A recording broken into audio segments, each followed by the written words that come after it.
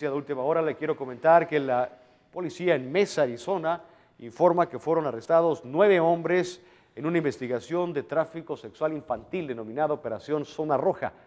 De acuerdo con el comunicado, nueve sospechosos de edades comprendidas entre los 20 a los 67 años llegaron a un lugar no revelado el pasado 7 de enero con la intención de pagar por sexo con un adolescente de 16 años. La persona que contactaron era un agente encubierto.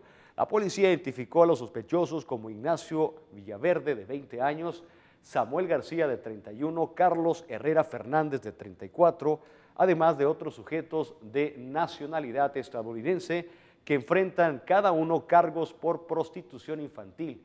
De este caso le seguiré informando conforme vaya avanzando la investigación correspondiente en esta detención masiva de varios sujetos por pornografía infantil.